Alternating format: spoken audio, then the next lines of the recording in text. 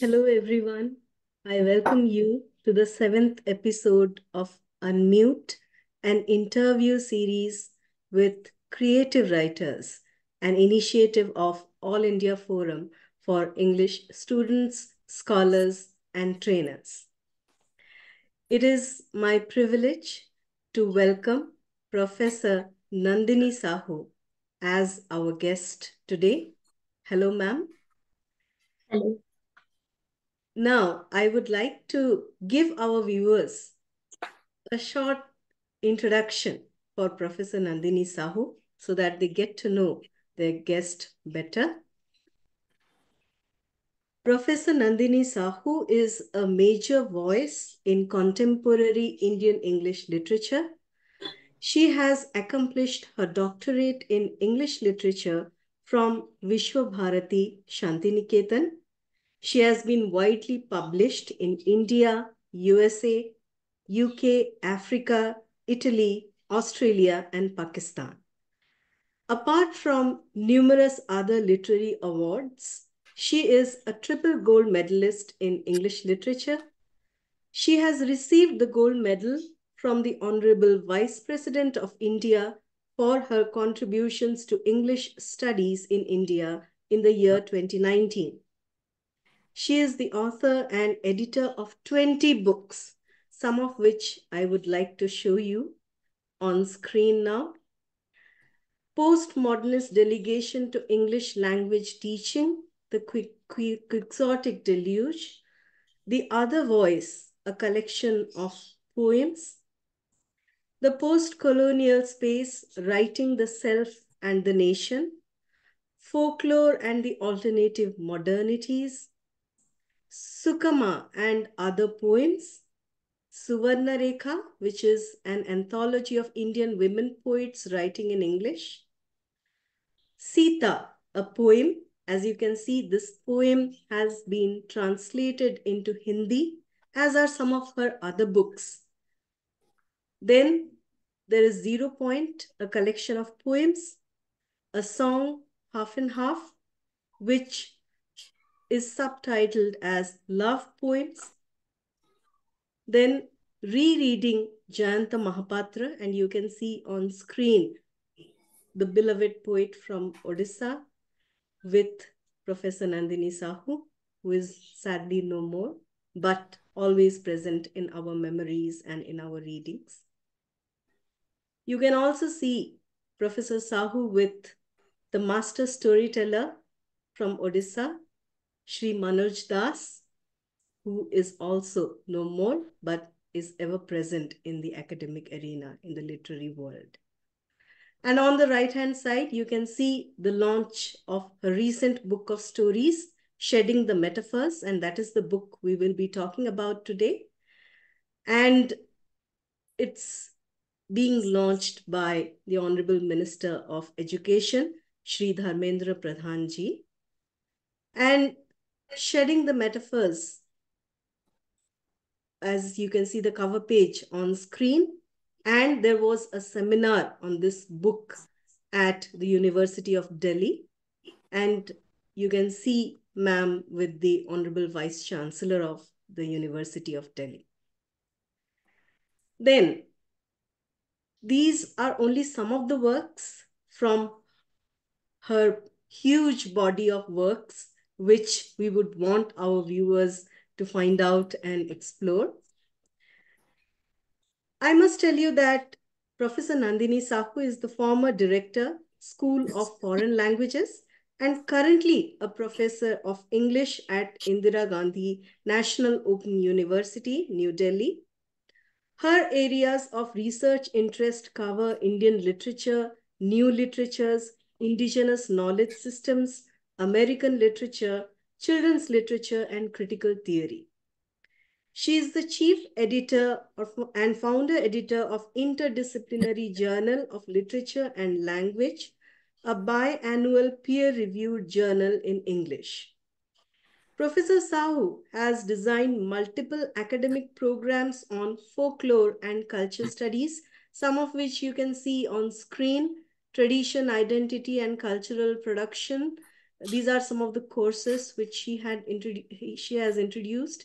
Indian folk literature, folklore, canon, multimediality, interdisciplinarity, and social epistemology, theories and pedagogy of folklore. These are some of the courses that she has introduced. And apart from this, she has designed multiple academic programs on American literature, post-colonial literatures, British poetry, children's literature, and Indian philosophical thoughts for IGNOU and many other universities. Currently, she is designing a course on Indian knowledge systems, which is inclined to comparative Indian literatures and Hindu studies. So we are delighted to welcome uh, Professor Nandini Sahu to Unmute interview series.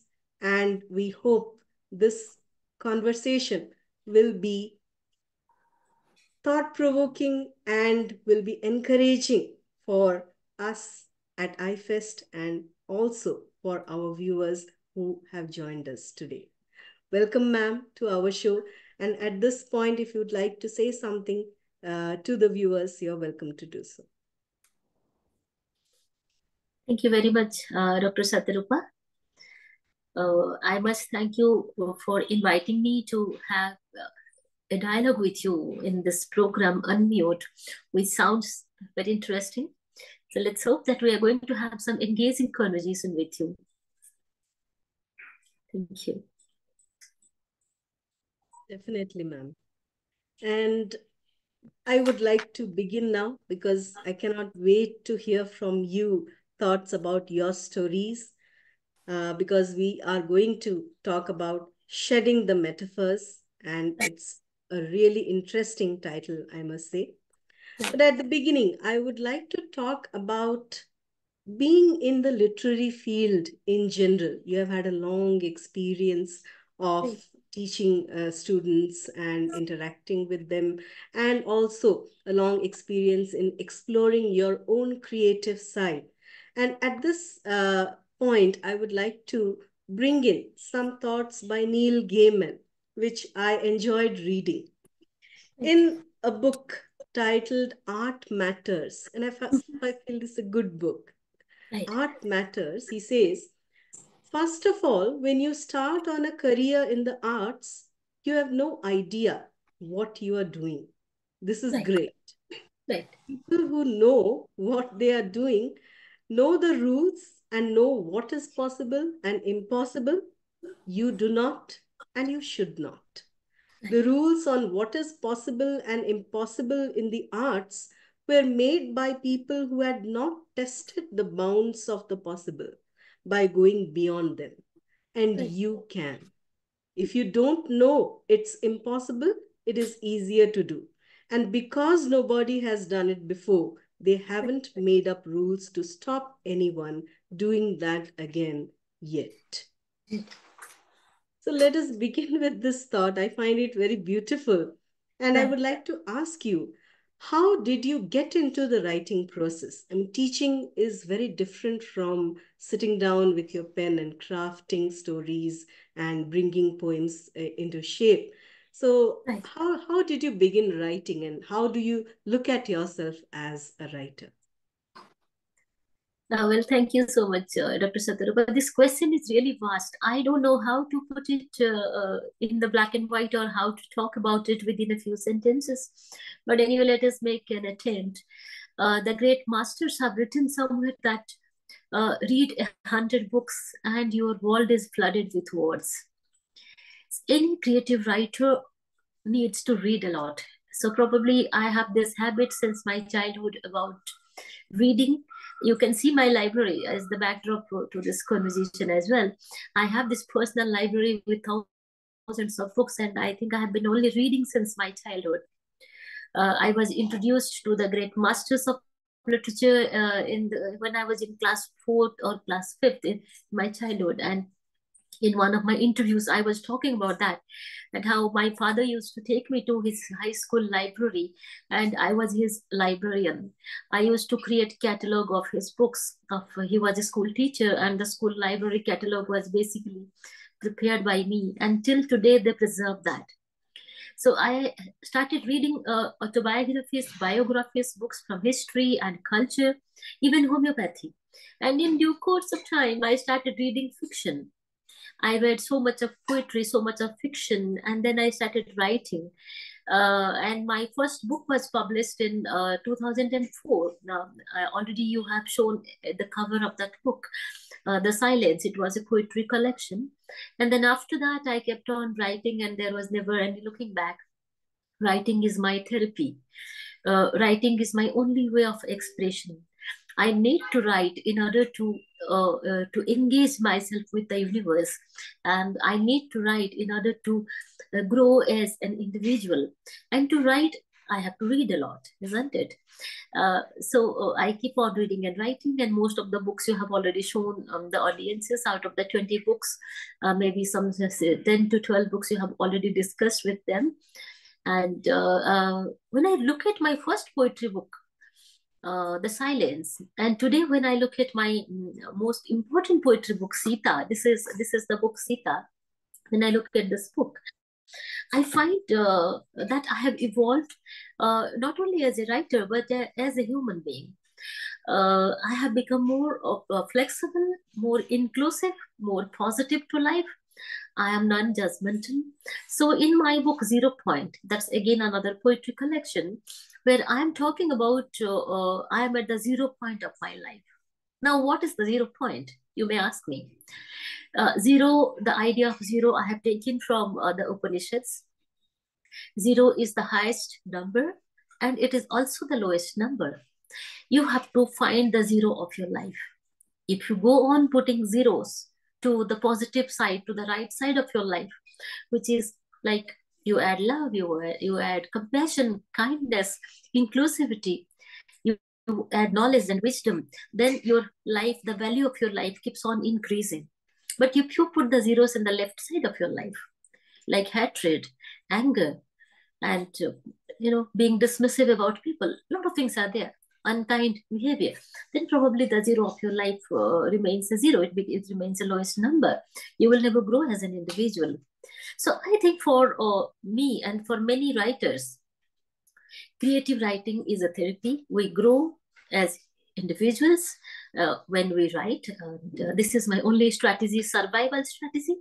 And this is the only thing that I know how to do. Thank you. That was a beautiful answer, ma'am. And well, I particularly liked the word evolving because uh, that is something which we aim at. Uh, I mean, right. evolution uh, is something we have studied as a process of biology, but that is something we like to feel, we like to see in ourselves, and especially for a creative writer, evolving is very important. And uh, it is something which is part of the journey of any writer and uh, I'm glad that you bring in the idea of writing as therapy as well, because uh, indeed writing is therapeutic and we tend to deal with or engage with a lot of contradictory feelings that we have in the course of even a day or in, in the course of even an hour we try to deal with those contradictory feelings within us through our writing. And as you rightly said, that this is a sort of process which is never ending and it will keep on uh, refashioning itself, this process of writing and thinking about your own writing. It will keep on evolving, even that process, till right. the end of time. Right. So that was lovely. Right. Now we will move on to the title of your collection of short stories. Interestingly, it is titled Shedding the Metaphors. Right. And I would like to uh, just bring in here uh, the book uh, Metaphors We Live By. by George Lakoff and Mark Johnson. It, it's a book which uh, tells us how uh, basically our language is metaphoric because our thought processes are uh, you know built with metaphors. And um, just uh, I, I was thinking of how we would look at something basic like memory. Uh, and these uh, thoughts uh, came to mind. I, I was reminded of something i had read in a book that if we think of something basic like memory we would think of archives and libraries. We would think of uh, wine houses and uh, you know warehouses where goods are stored. We would think of uh, aviaries for example where uh, you know birds they are kept together. Right. and then of course treasure chests and vaults where valuables are kept and then of course we would associate memory with a leather purse which right. we use for storing our money right so apart from this, we can also think of memory in terms of labyrinths. If we think about the extensiveness of memory, labyrinths or woods, fields. And if we think about the hidden nature of memory, even we will think of caves, grottos, and depths of sea. So I find this interesting. While you have used metaphors in your stories, and your stories have included some beautiful metaphors. How did you think of naming your collection, Shedding the Metaphors? Okay, Dr. Shatarupa, this is such an interesting question. I must say that you know how to unmute authors, isn't it? You know how to take the best out of them. So probably you are asking such tricky uh, and very, very critically engaging questions. Uh, when you talked about uh, memory, I was reminded before I get into this book, Shedding the Metaphors, uh, today's discussion is basically on this book, Shedding the Metaphors. But before that, please allow me to talk about um, uh, uh, you know, what do I exactly mean by metaphors and how memory and nostalgia, archiving and documentation, these things are so very important for me. Today, I remember uh, this Delhi University seminar uh, on this book launch uh, which you have already discussed in the beginning, when Professor Yogesh Singh, he was launching the book and then he talked about that book uh, uh, in detail. So one of the teachers of Delhi University, she was very, uh, what should I say, she was very upfront and she told me, a writer is all about metaphors. Professor Sahu, how do you even propose to shed any metaphor? If you shed the metaphors, what remains for you to write? And uh, I just smiled because she was right in her own way. A writer is all about metaphors. Like Walt Whitman, I think that uh, a book is always work in progress. Like this book, Sita, that I told you now, uh, there is one of my most important books. It was initially published in 2015. And today, if you ask me to write another Sita, uh, I think the text will be entirely different. And if you ask me to rewrite uh, my first book, The Other Voice, I think it will be entirely different. So, like a writer keeps on growing and evolving, a book should also be allowed to evolve. That's why Walt Whitman said that I sing of myself, uh, I celebrate myself because the autumn belonging to me as good belongs to you. By saying that, probably he meant about the universality of the emotions in any kind of creative writing. So when you read Sita or when you read Shedding the Metaphors, if you are able to see yourself in one of the characters, and then you forget Nandini, death of the author, you just forget the author. Now you become one with the character. You see yourself in Semita of the first story, or you see yourself in any particular character in the last so story, which is my memoir, being God's wife. If you look at yourself as God's wife, I think that is the success of uh, a story writer, that the, the reader uh, tends to forget the writer. The writer doesn't come between the reader and the text. That is one thing. And as far as my uh, ideas of preserving and documenting things go on, uh, since my childhood, I have been a great preserver. I would always preserve things. Uh, when I was in the kitchen, I was hardly 12, 15 years old, and I, I love to cook. I would go to the kitchen to help my mother. And then when I, I'm from a very large family, so uh, at the end of the day, when my mother would have given food to everybody, only very little of anything precious, anything good, say pakodas or say something very interesting, something good would be left for my mother. I noticed that quite a few times. And then I decided that when she starts cooking, I would just take a bit of the best dish, put it in a katori, put it in a small box, and hide it uh, behind the behind the, the chula, behind the hearth. And then after the entire family has finished their lunch or dinner, and my mother was completely exhausted, and then she tried to take things in her plate, and very little of pakoda was left for her. Then I would take out that box and say, "Mama, I had preserved this one for you." So that habit of archiving, documenting, preserving things for the future, for the progeny, probably that made me a folklorist another childhood incident you know.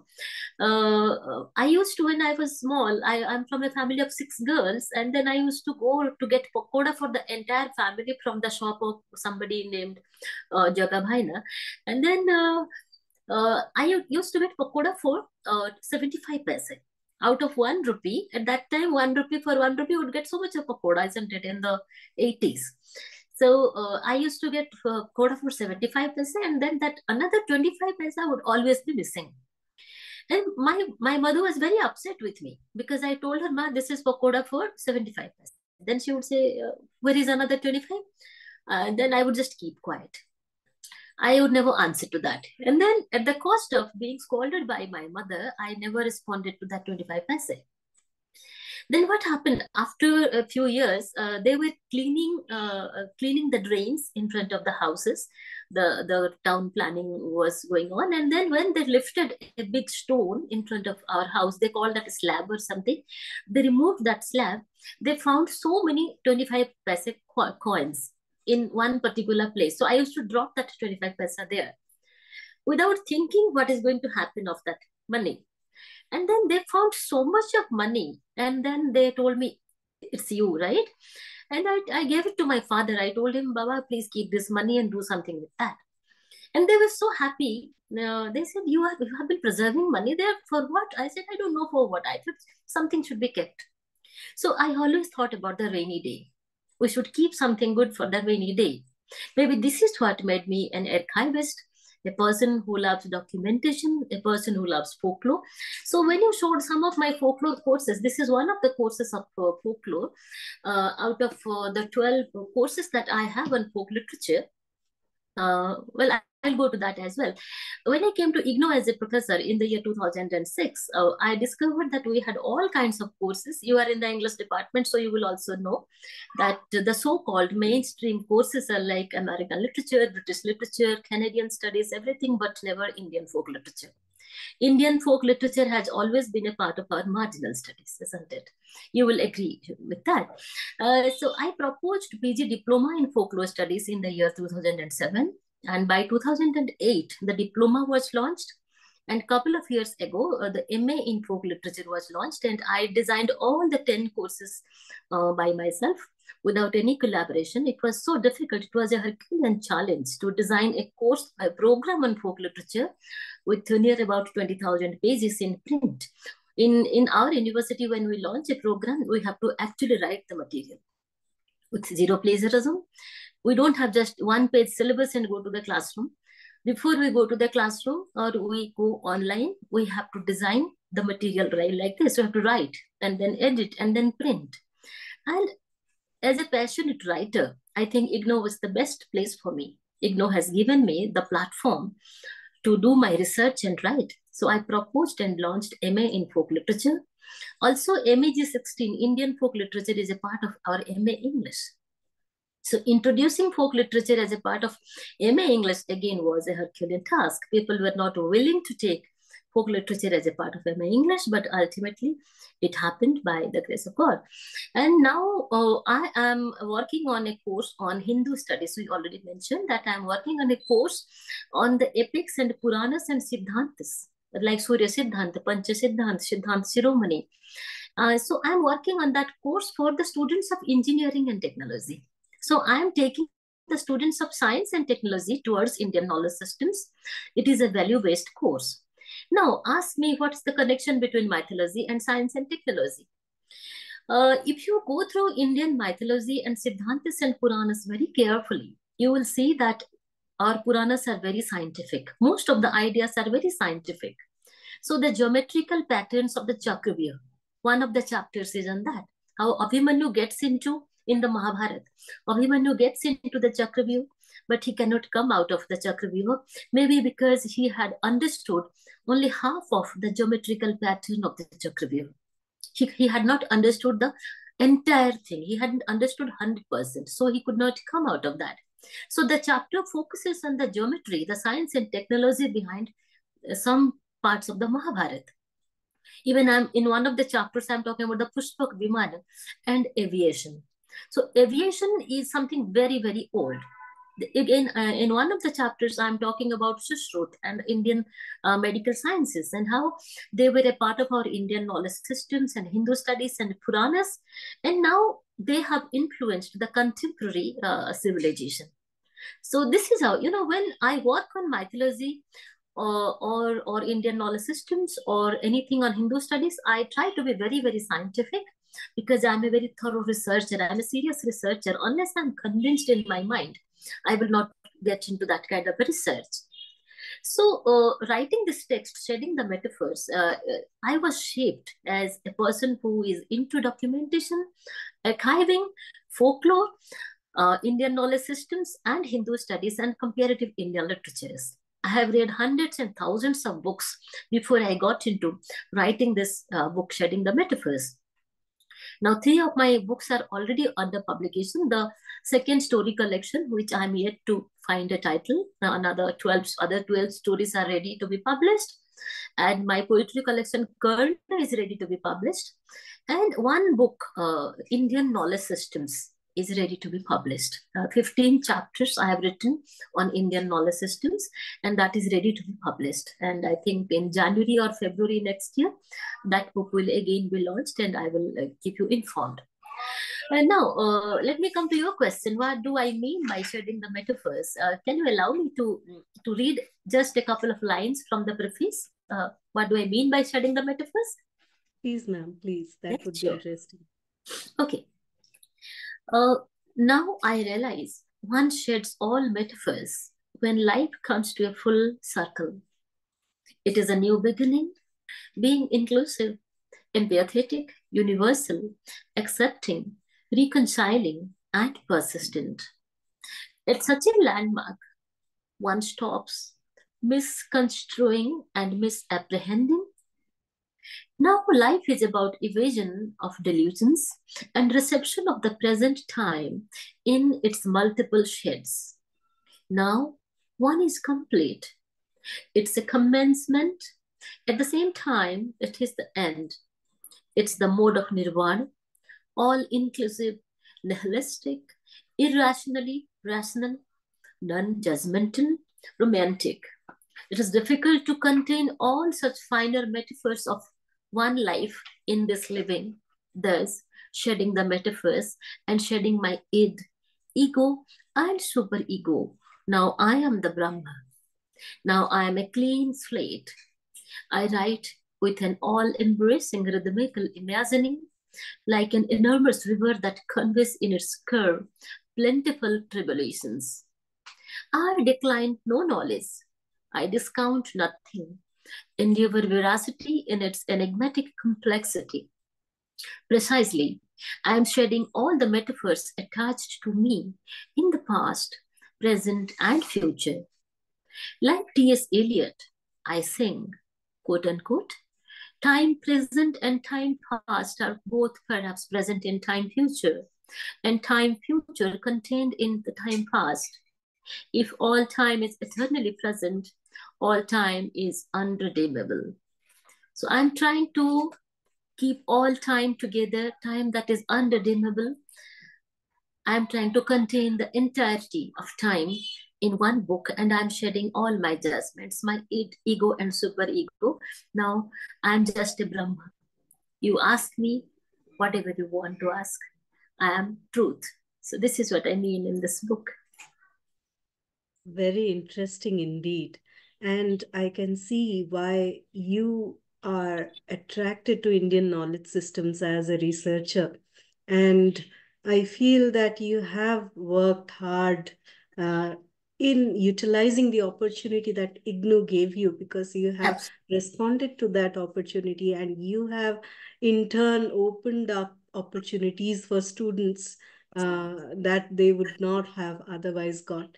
It's true, ma'am, that uh, folklore studies, Indian folklore in particular, uh, has not received uh, that kind of attention in the academic circles.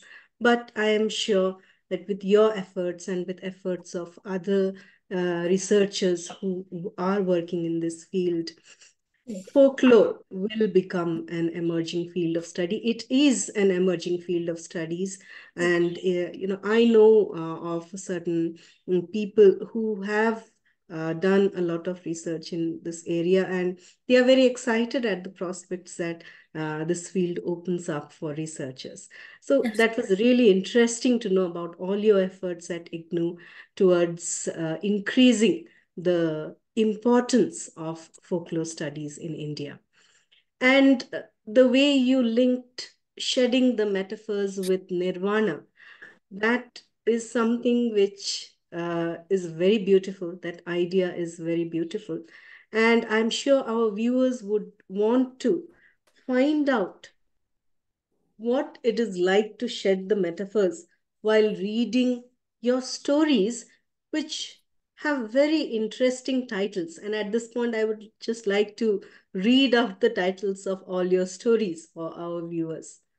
Yes. A very different story. That is the first story in this collection, mm. followed by alternative masculinity, echoing in a lullaby, shadow of a shadow, that elusive orgasm, the juvenile love letter, the quarantined, post quarantine, the scarlet fly, octopus, the wild stream, and being God's wife.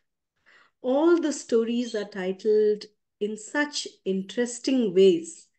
They pick our interest immediately when we just go through the contents page. And that is something which shows your expertise with language and of course with metaphors. So you have to be an expert at metaphors before, before you realize what it is like to shed the metaphors. So that was a very beautiful answer, ma'am. And you also talked of how your experience in dealing with mythology, with folklore, uh, has given a different uh, taste, a different shape uh, to your writing. And uh, I would agree, I would mention uh, that story, the that elusive orgasm. And I want to ask you, what was the importance of including a story within a story? The story of how Sonagachi in North Kolkata is named after the dacoit turned Saint Sanaullah. And you know how how how do you think of introducing such a story within your narrative? And uh, how how does it feel like including myths and legends which also have the habit of changing themselves over time? Myths they undergo changes and they um, they are also adapted and with time they acquire different connotations so, what it is like using such myths and legends in your stories? I would like to know. Well, Dr. Shatarupa, uh, when you asked the question, I am afraid you answered uh, yourself. In the beginning, you said that um, in order to share the metaphors, one has to be an expert of uh, metaphors, first of all. So, these kind of metaphors I use, maybe you can say I, I use it very cleverly. Uh, as a writer, I just want to play with the mind of the reader and take the reader to another level uh, of expectation. And then the twist is what the reader is expecting, the story may not be about that. When you read the title, that elusive orgasm, uh, the, the title may sound uh, deceptively simple. uh, one can think, uh, okay, she's writing about orgasm of a woman and uh, a very beautiful orgasm and a woman expects that uh, with every time that she gets into that intimate relationship the reader can expect that. But as i said or as you said let me quote you that uh, i use uh, mythology uh, in both its shades in its positive aspects like uh, in indian mythology such beautiful things are there. In the course that i'm designing now on hindu studies uh, I have taken things like Sarala Dasa's Mahabharat.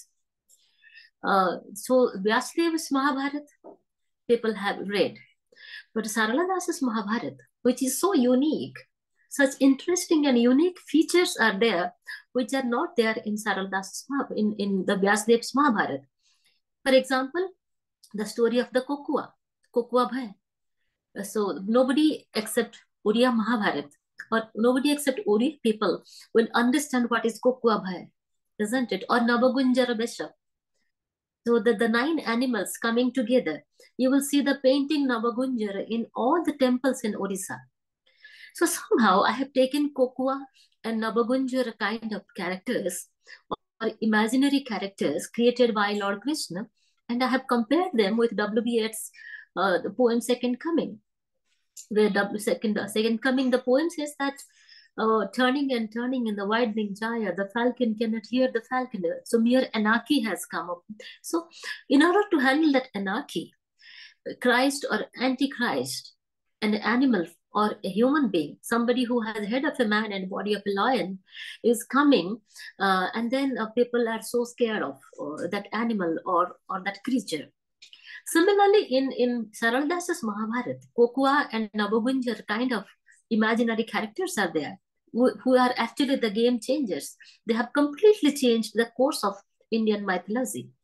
Like after this Kokua, Lord Krishna is you know he is instrumental in in finishing the Yadav Kul uh, through the Kokua Bhai and then he is taking rest in the forest when the Zara Sabar, he comes and then he shoots an arrow to the foot, left foot of Lord Krishna. And then his soul remains. And the soul is taken to forest.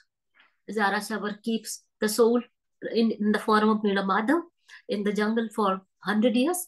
After which, uh, has to come as the mainstream god, Lord Jagannath, to Puri. That's a long story in, in Uriya uh, Jagannath Kant. So I have tried to take those kind of stories, how Lord Jagannath has tribal associations, the connections with the tribal community. The tribal king, they had they had kept Lord Jagannath in the forest, and the king of Puri, he took Nilamadhav from them by some means that all of us know. So those kind of stories I have incorporated in my courses, and also like Balaram Das's Ramayana. Jagamohan Ramayan, or I have taken Chandi Purana, I have taken Lakshmi Purana. In the text Lakshmi Purana, you talk about gender equality. You talk about caste equality. So Sriya Chandraloni, she is a Sudra woman, and goddess Lakshmi goes to her house and he takes food in her house. And then after that, Lord Jagannath and Balabhadra, they try to give some punishment to Lakshmi in the Lakshmi Puran. And then what happens, we know that they have to forgive her forgive is a wrong word. They have to accept uh, Lakshmi with all her ideas of taking food in uh, anybody's house, in the house of the so-called lower caste. So I have taken those kind of positive aspects of Indian mythology, Puranas, and Hindu studies in the courses I have taken. But this is a story where I'm also talking about the darker side of uh, pseudo religion. I won't say religion, but pseudo religion. So here is a father who wants to have sex with his own daughter uh, in this story, that elusive orgasm. Because this person, uh, his wife, uh, she was on the wheelchair and he could not have anything with her. And the wife wanted to protect the family property. So look at the politics here, the body politics. You, you just see here that the mother, she doesn't want her husband to remarry or find another woman and find his sexual uh, you know, satisfaction from another woman, she sacrifices her own daughter to her husband. And then they make her a victim of being the prasad of goddess Kali, Bhadrakali. So this is not written in religion. This is the negative mentality of a person. No religion says that you should sacrifice your own daughter. And then he exploits the daughter for a few years, sexually exploits. But then in the process, the twist of the story is orgasm.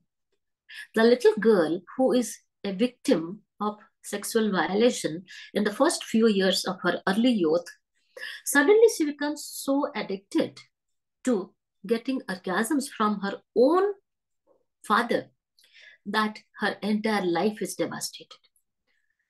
She is helped by some of her old friends. She is sent back to some other country to settle down, to marry somebody, to start a life of her own. But she can never do that because the moment she gets into any kind of intimate relationship with her husband, she just remembers her early youth where she was getting orgasms out of that incest of father daughter. And then she comes back, and the story is really dark, isn't it? It's a very, very disturbing story. Whenever I read this story, I just think, how could I even write this? I wrote it at one go. One day at five o'clock in the morning, I just remembered the girl and I sat down to write. By 6.30, the, source, the story was finished. It, it has never been edited. I just wrote and I sent it because if I would have read the story again, I won't have allowed anyone to publish it because this is such a painful story. Now, whenever I read that story, I get so much pain here. And I'm sure that all my readers, in fact, uh, after the book was published, more than 25, 30 reviews have come. Uh, eminent professors and many people have written reviews on the book, and everyone has talked about this story. They started reading the story, elusive orgasm. Oh, what orgasm she's talking about? They start reading. Well, now coming to your question. Why did I introduce the story within a story? That's Sonagachi story. Well, that is to give about the, the topography, the topography of a place the, the story is uh, situated in West Bengal, and uh, Sonagachi is a place which is uh, famous, or it has the ill fame, or whatever you can say, about uh, the maximum number of uh, sex workers being there. So, in a city where sex workers are available, or they are willingly doing that kind of a service, where the father could have actually got into any kind of sex worker had he wished to do so it would have been very easy for him, but he chose to sacrifice his own daughter. So that can be one reason why I gave this background. The other reason can be I was creating a very complex background to the story. That sex plays such an important role in a society, whereas people are rather silent about it. We have zipped our mouth about it. No one talks about orgasms. Like many people told me, even some of my senior colleagues told me, Nandini, please change the title of the story. Even one journal, I won't name the journal, that is India's most famous journal. It's a government, uh, it, it comes from a government press. Okay. I sent the story to him. And then the person, uh, the editor, he read the story. He said, It's an interesting story. You have taken out a very important uh, subject, but change the title of the story. Make it the girl child. I said, Why? Then he says, uh, we don't want to use the word orgasm as a title of one of our stories because people will think that ours is a journal related to pornography. Now, orgasm is not porn, isn't it? That's just one of the human activities. But people have to open up. People have to talk about most uncomfortable things. Once I heard from the editor of that government-based journal, the chief editor, I was more determined to keep the title. I thought, no, let the title go like this. Let people think that I'm talking about something very, very inconvenient, uncomfortable. Because a writer has to deal with the discomfort of himself or herself and also the discomfort of the readers. And you will be inclusive only when you get above those. You get over, you get above, and you are not uncomfortable with any kind of war anymore. So maybe that is the reason why I talked about Sonagachi. I am not sure if you are convinced.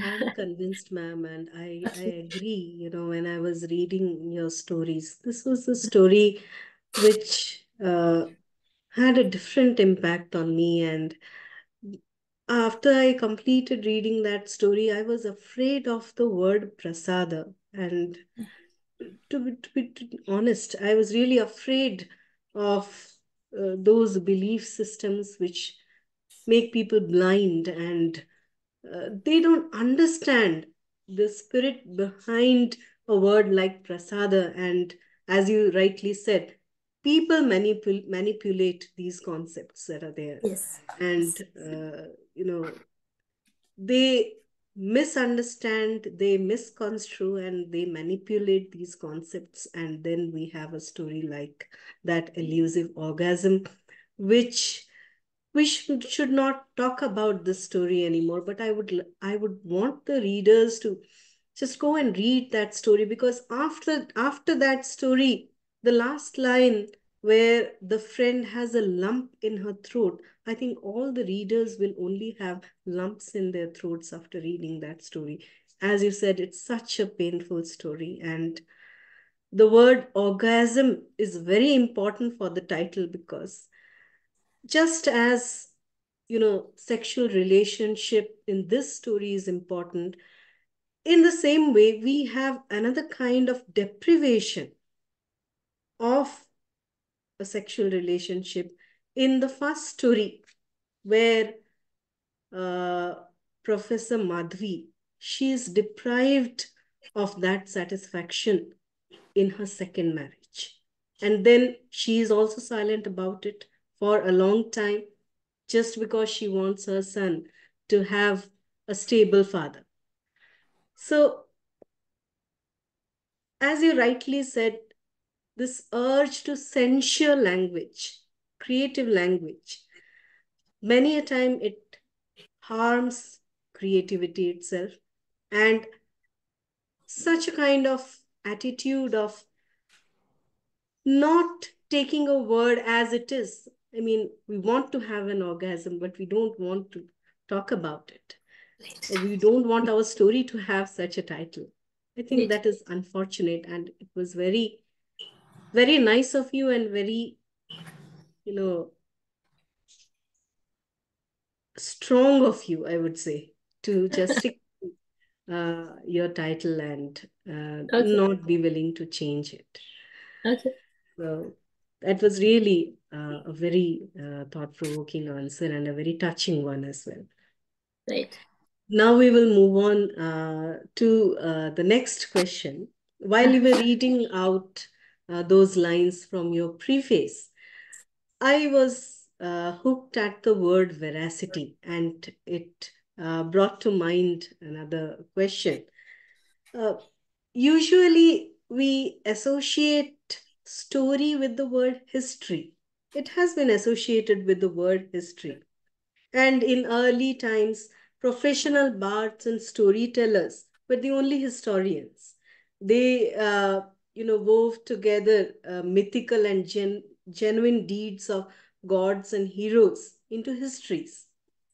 Now, as uh, stories evolved, uh, there was a big divide between history and fiction as we understand it today, both these uh, things are very different from each other. But again, while history deals with fact, it often adopts the story form. And while most of the stories are fictitious, they are sure to contain fact in greater or lesser degree. So I want to uh, listen uh, from you. How do your stories deal with this concept of veracity?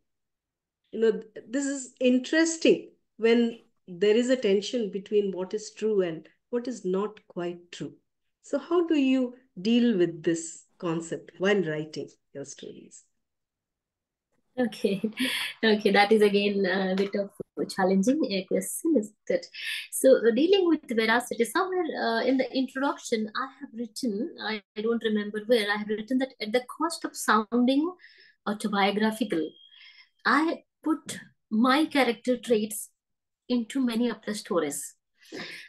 For example, there are two stories here, uh, the quarantine and the post-quarantine. These are two stories which are not at all autobiographical. Uh, in, in the entire uh, collection, uh, only Being God's Wife is a memoir where it's entirely my story, being God's wife and rest other stories like well a very different story is definitely my story in rest of the stories, uh, I have taken characters from my life, and also I have taken characters who surround my my you know my family, my my friend circle, my university. I have taken characters from those, and uh, in this story, the alternative masculinity, uh, I use a lot of wit and humor. It's a very humorous story if you read it carefully. Uh, alternative masculinity. We need a lot of humor in Indian literature. Once I was in uh, Central University, Tamil Nadu, in a seminar of women poets, and every poet was reading out very, very emotional, very sensitive, very sentimental poetry.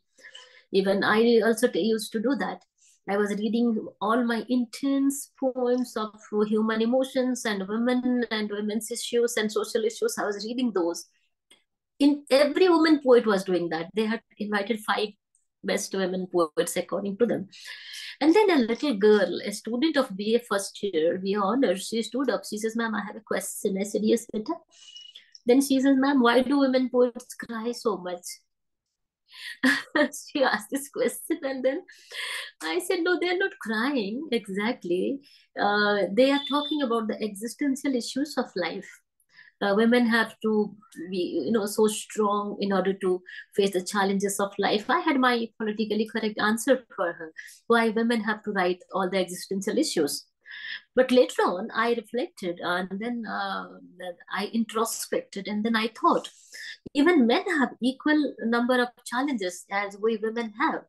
It's so difficult to be a man isn't it? A man has to be a good father good husband good lover good son and a good employee. He has to be good everything. And he has to look good. He has to he has to be the best in everything. And this is such a big challenge. And in 1970s when masculinity studies came up as a, a theoretical uh, research uh, topic, uh, many people started talking about the retro man, the perfect man, male body, and female gaze, how women look at men. Recently, we had a get together of all my classmates. Oh, we were we were classmates in the 90s, and today when there is a get together, all women are looking perfectly fine. All women are beautiful. And all men all most men are pot bellied with they have no hair okay? Now they look so old and women look so beautiful. Uh, we, we were judging them. We were whispering that look at us. We are looking so young and beautiful. And look all these men they are all they're like the uncles. We were, we were teasing them. So even we do body shaming for men which we should not be doing we were just laughing at those classmates, those boys, and we were telling them, hey, you became a Buddha, you became an old man. So then I thought that we should also write about men. We should not only write about women and their challenges. Men's challenges are also equally important and equally difficult like ours. Yes, the children, they want their papa to be perfect. Parents, they want their son to be the best even after his marriage. And for every small thing, they will blame the wife that Acha, after marriage you became like this. And the wife expects the husband to be the perfect man, a great lover, uh, throwing her back with orgasms uh, throughout her life, and then also giving her all kinds of uh, comforts. Uh, I'm a feminist. I need not. I should not be saying these things, but I think as a humanist, I should be saying these things. So a man has to be perfect in everything. So in this story, alternative masculinity, I'm talking about a kind of toxic masculinity, which is very, very humorous in the beginning. And at the end, you have some questions in your mind. So there is one person. Uh, he he tries to uh, you know subvert his wife, and then uh, he shows a kind of masculinity which is very very toxic. And then uh, this these two stories, the quarantine and the post quarantine, they are not autobiographical, but still I have taken a character whose character traits, I mean, whose behavior, the way she talks, the way she presents herself, everything is like mine. So I have taken myself into that character. The person is not exactly me. She is another IAS officer who is my friend. And this is the story of my IAS officer friend, but then I'm putting my character into it. So the fact of the matter is, uh, literature is very, very complex. To be a story writer, to be a poet, or to be a critic, one has to really go through everything, the layers of a character. In my uh, literary theory classes, I teach new historicism, Raymond Williams, and I teach cultural materialism. When you talk about cultural materialism, like I have taken texts from Manoj Das, a lady who died one and a half times. I have taken that as a part of my folklore courses. I have taken Sitakant Mahapatra. I have taken Haldhar Nag. Haldhar Nag, widely translated to English now, I have taken his oral poetry as a part of my MA syllabus, MA in folk literature. I have taken Pratibha Ray, Jayant Mahapatra. And I have tried to put my supervisor, late Professor Niranjan Mohanty's poetry in the syllabi of many universities when I go to design their syllabus. So as much as Odia literature, Balaram Das, Sarala Das, so much of Odia literature in English translation I have taken in the national and international universities. But then in order to do that, you know, one has to actually uh, understand the nuances, the complexities, and also the social relevance. So when I say social relevance, when I say contemporaneity, I thought writing a story like alternative masculinity or writing a story like the quarantine or the other story like the post quarantine, they have social relevance, they have contemporaneity. During COVID, I was writing these two stories. So maybe this is a little bit uh, to, to, to your satisfaction, though I don't know that uh, I can ever satisfy you with your uh, critical questions. No, ma'am, uh, I don't want to be satisfied, and uh, neither do you, I'm sure, uh, because uh, this is a very interesting journey talking about these stories.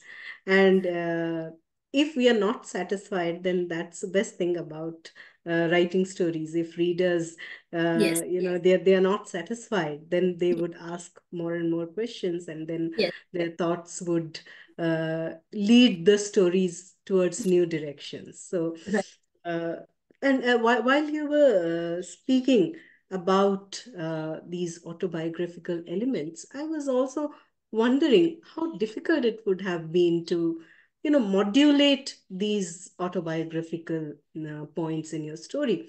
Because uh, yes, you are trying to have that that balance between truth and fiction, which is why uh, you know you include some autobiographical elements but they need not be completely your portrayal. They mix with uh, traits of other characters and we have a an altogether different character in the story.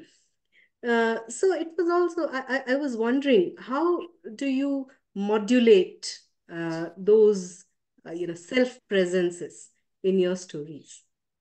Was it difficult or was it spontaneous I think it was impossible. It was not just difficult, you know, it's impossible. Uh, recently, uh, I had been to Odisha and then I saw that my paintings have been in the walls of Bhubaneswar city. And there is this wall of fame where it's written that uh, the celebrities from Odisha, so they have painted my pictures and the Mahapatra picture. Many people, many Odia writers and many Odia celebrities like Nandita Das's picture, so many. And then I saw my painting and then uh, you know i was happy. I just smiled. And then uh, i had a meeting with, in uh, with one of the tv channels. And then they asked me ma'am please write your autobiography now. It's time that you write your autobiography.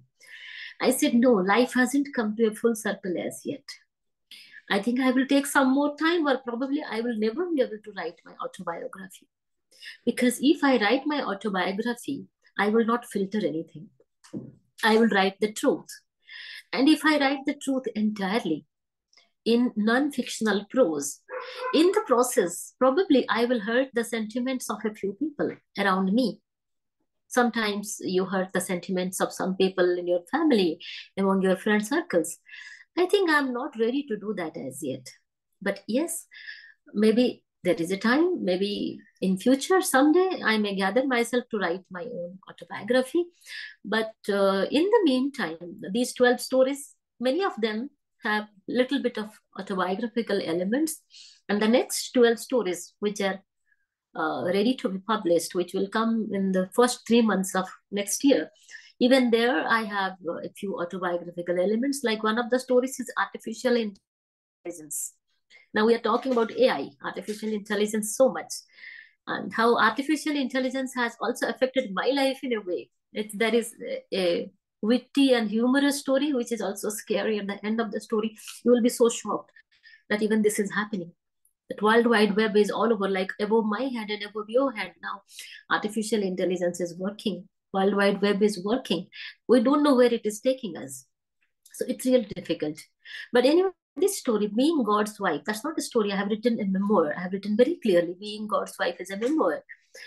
Uh, when I wrote that, I was practically crying. I was really, really crying. Like Sita, when I wrote this poetry book, Sita, uh, I did the research uh, for three years. I read 300 Ramayans. I traveled across the Ramayana maps of the world from Nepal to, to Sri Lanka, uh, Bali, and to Thailand, to many places. I went to so many places that cover the Ramayana map of the world. I took interviews with interesting scholars of the Ramayana. And then my registers were full. Six to seven registers were full of research for three years.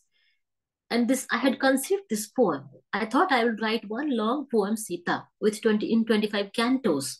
And each canto will have a point of view, authorial point of view, I mean poet's point of view, and the point of view of the Ramayana.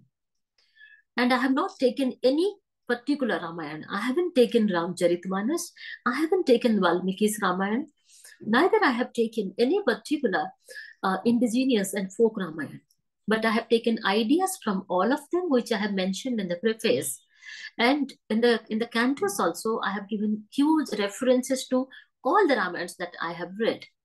So after I had read 300 Ramayans, and then when I thought that I can't hold it anymore, my brain is going to give up. Uh, I'm not able to hold anymore. Then I took 18 days uh, EL, earned leave from my university. And then I switched off my phones. I asked my son to lock me inside the house every day, every morning at 7 o'clock when he went to the school. And then he came at 4 o'clock, he would open the door. So from 7 to 4, I did not even take a shower. I would just brush my teeth, eat something, sit down and write. I wrote the entire poem, the complete book in 18 days. I did the research for three years. I wrote the complete book in 18 days. I was locked in my house.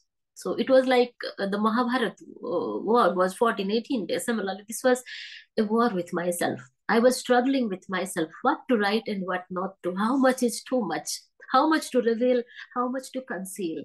Because in this poem, actually, I am Sita. It's an entirely autobiographical poem.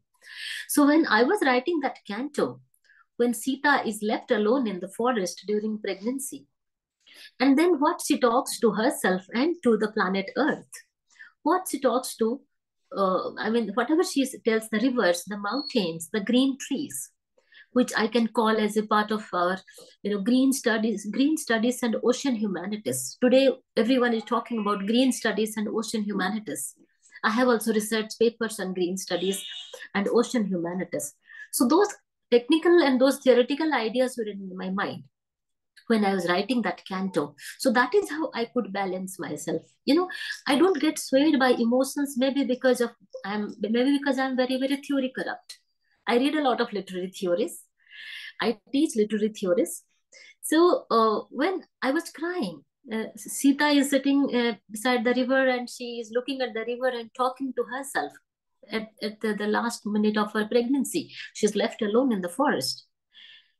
And then I remembered something of my own life that um, even I was left alone during my pregnancy and uh, I had to give birth to a child all by myself. And then I had to groom the child and I'm a single mother. So I was swayed by those kind of ideas of, of my own life, but I never wrote those things anywhere in the text. I only focused on Valmiki's Sita. I focused on the contemporary Sita, like I see a kind of Sita-ness in you. When you ask me intelligent questions, when you ask me witty and intelligent questions which are very logical, you are Sita. When I answer to you with honesty, I am Sita. When Mr. ABC, he understands the pain of a woman, he is Sita. So Sita is not a person now. Sita is a cult. I look at Sita-ness in every man and every woman who I come across. And then I put that kind of a thing in the text. So yes, it's very difficult to hold your emotions, not to be personal, not to be subjective, but to present your own pain through another character in an objective manner making that character your spokesperson is really very difficult and very challenging but maybe this is what is the difference between a writer and a person who is not a writer but a reader maybe this is the only difference between these two uh, these two kinds of people that uh, they manage to be objective, be impersonal, like T.S. Eliot. I would say that uh, I depersonalize myself, I detach myself, and then uh, the theory of impersonality it has come to my mind, and I try to write. But how much I'm successful, I don't know because many of the reviewers now there is a special issue of the creative saplings the entire journal peer reviewed journal they have taken out one entire issue on me on my writings with 15 20 interesting papers. And a couple of writers who i don't know they have written that reading sita i could see nandini. They could see me they could feel me. And then somebody from australia writes that uh, reading sita uh, I, I want to make friendship with Nandini because Nandini is Sita. And then when I went to Nepal, they, they rushed to touch my feet. They said, Are Sita Maya hai. They thought I am Sita. So how much I am successful in becoming impersonal and how much I am successful in detaching myself from the character also I don't know. But this is just a humble attempt, as I said. That's uh, such a beautiful thing, the concept of Sita-ness and the way you have talked about uh, this work of yours. It leaves me tongue-tied, to, to be honest. I don't know how to respond to this answer because at this moment, I'm also experiencing some strong emotions, emotions for you and emotions in connection with your work, your writing what I want to say at this point is that for every writer, it's very important to understand things deeply. And understanding things that are happening to you, if they are disturbing things, especially, that understanding is very different from understanding the things that we see happening to other people. Because if something has happened to you and you want to grasp it, it is very difficult to grasp it actually. And taking those emotions and molding them into a Mahakavya. I see that the Hindi translation of Sita says it's a Mahakavya, and, and I like that uh, term more. Uh, in comparison to the English version. It's a very difficult work and talking to a person who has been committed to creativity, who has been committed to the study of theory, and who has been committed to experiencing the world you know, deeply. I feel talking to such a person is very enriching. It has been enriching for me because so many strands of thought have opened up while I'm talking to you, while I'm listening to you.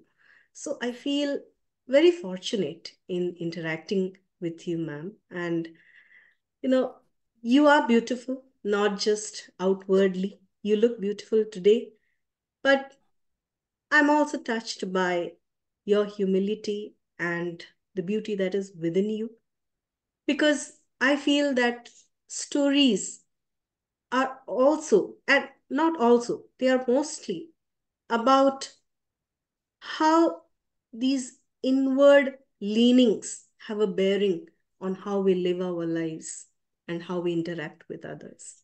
So it is very important for a writer to look inwards and to try to understand the contraries that we find within ourselves. So it's a very, very fertile session, I would say. Fertile because I have gained so much from it. And I'm sure listening to yourself, you would have so many new ideas. And I believe, you know, you would look at yourself in, in an altogether uh, new uh, light. When, you listen to yourself, that also happens to you. So, and I'm sure our viewers, they would relate to so many points in this interview from whatever you have said, and they would have thoughts of their own pertaining to the ways they have lived and understood living. So now I would like to uh, go towards uh, the last question, which has come up in my mind. You are a poet. You have written so many collections of poetry. And while reading your stories, I found poetry in your stories as well. In the first story, I found a very beautiful poem, and I would like to read it out for our viewers. One night during our pillow talk hours, she sent me a message, rather a poem, and then here goes the poem. The night has stretched out a fresh watershed for me.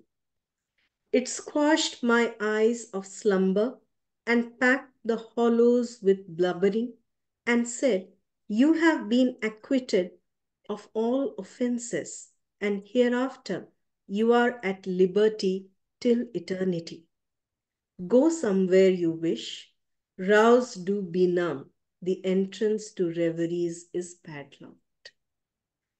I feel that is a very beautiful poem, and we have another beautiful poem, That Foot for My Baba. As you mentioned, it's a uh, it's a memoir, and it's written uh, for the father, Baba.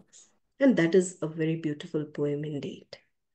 So I would like you to talk a little bit about what is different in being a poet and being a writer of stories.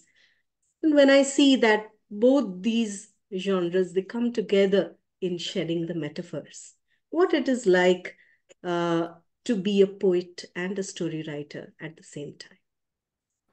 Okay, thank you.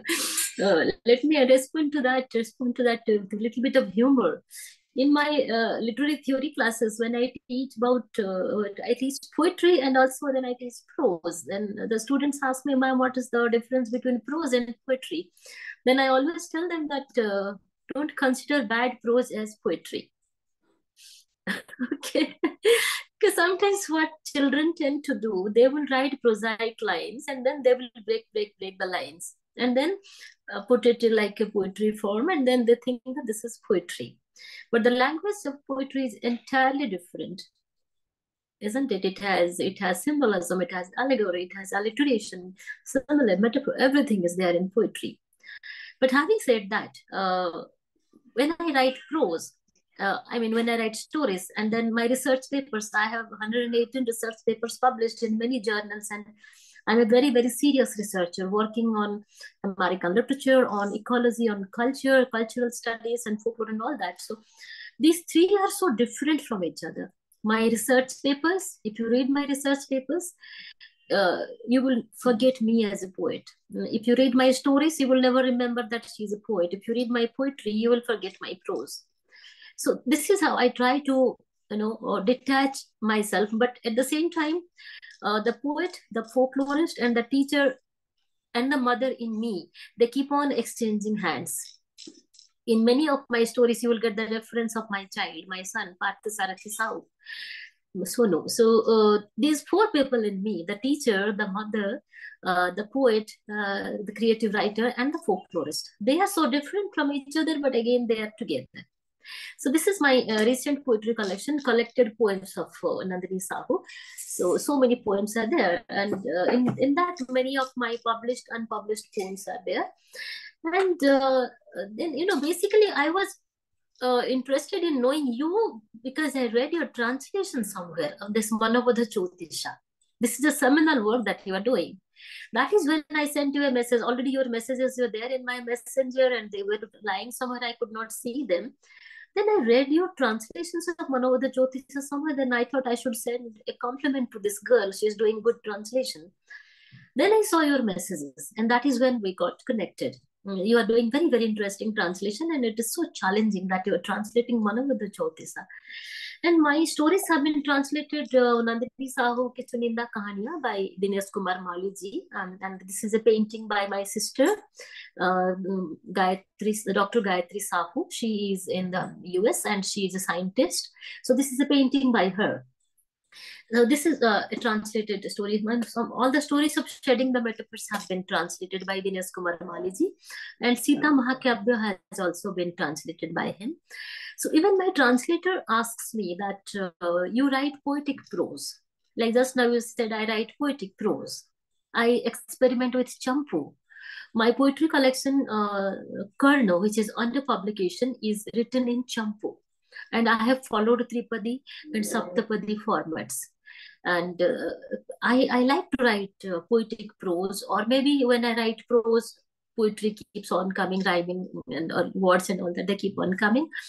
And uh, well about me as a person uh, i would say that i am an incorrigible lover I fall in love with every every single person I come across. I fell in love with you, with everybody, all my readers, and my children, my child, my students, my colleagues. I'm basically a lover. I love everyone. I hate nobody. Why I'm telling this, you know, in order to be a writer, first you have to get rid of that why me syndrome. Why did I suffer so much? Why do so many pain, so many kinds of pain and suffering they come to me? Why, I mean, this why me syndrome, one has to get rid of that. You should not be like self having self pity. There should be no self pity. And you should be confident in yourself in order to be a writer. And another thing is a lot of bad things happen to us sometimes. Like life does a raw deal with many of us. And uh, we are human beings. So we definitely uh, would be angry would be upset would be sad and sorry about those things but at one point of time you have to forgive yourself and you have to forgive the people who might have hurt you so that you can write objectively. I can write objectively with no hatred for anyone from my past who might have done injustice to me or my, I might have done injustice to them. The perspectives are different. My perspective is they have hurt me. Their perspective can be I might have hurt them. So you have to forgive yourself first. You have to forgive those people. And then you have to build a story you know you have to think that this is a part of my life a chunk of my life a slice of my life which has to be presented in the form of a story so that in future nobody suffers the way i did or he did or she did so in this story you know this memoir being god's wife in a confessional mode i have written somewhere that at one point of my life, when I was in my early 20s and I was going through turmoil in my personal life, I was pregnant, I was losing uh, my pregnancies, and I was, you know, I was going through a lot of physical and mental stress. I was going through depression when my in my early 20s. And at that point of time, when my I saw my father watching TV and getting involved with the characters in the television, once I went to him and I told him that you were crying looking at those girls. Can you see my tears? I'm your girl. And at that time, I was so angry with him. I wanted him to hold my hand. I wanted him to tell me that I'm with you, but he could not do so. I was so angry at that point of time. But now, at this mature age, I realized that he was going through dementia. Dementia had already started coming to him, isn't it? So he was forgetful. And just to spend his time, just to kill time, he used to watch TV a lot and he was to get used to get involved with the characters in the TV. He he wanted to connect, to relate to those characters. And then uh, I, when I was so angry, he was not with me. And then even I was not with him. He was going through mental health issues. So you have to forgive some people from your past and you have to look at the mental health of yourself and the people around you so dementia mental health conditions uh, so if you look at that story being god's wife i have given so many examples where i wanted my father my mother to be with me but they could not be and even i could not be there with them and now i realize that the, the story was something different isn't it? Different and very touching and beautiful. And uh, at this point, ma'am, I would like you to read that poem the story contains about your father. Achha, achha, that food? Yeah. Okay. I would like you to read it for our viewers. Okay. It's on page 251. Yes, I opened. Yes. Okay, fine. So let me just give an introduction to that. Uh, Yes. I wish I would not have been running the race of life at the time as a single mother for Sonu, searching for a central government job and doing a PhD, while struggling to run errands for two of us with just a junior research fellowship from Shantiniketan. I wish I could have told my father loud and clear, quote unquote, Baba, I need you now. Save me from drowning into this bottomless pit. Hold my hand. In return, I will hold your hand and take you happily to the lanes of childhood through Sonu's infancy, Sonu's juvenile joy. But a lot of things remained unspoken between me and Baba.